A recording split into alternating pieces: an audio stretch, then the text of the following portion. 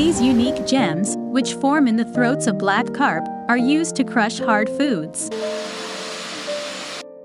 These stones are exceptionally rare and highly valuable in the market.